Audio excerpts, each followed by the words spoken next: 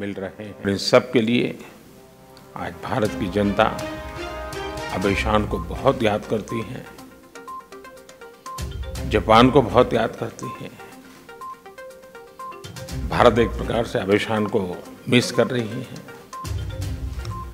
लेकिन मुझे विश्वास है कि आपके नेतृत्व में भारत जापान संबंध और अधिक गहरे होंगे और अधिक ऊंचाइयों को पार करेंगे।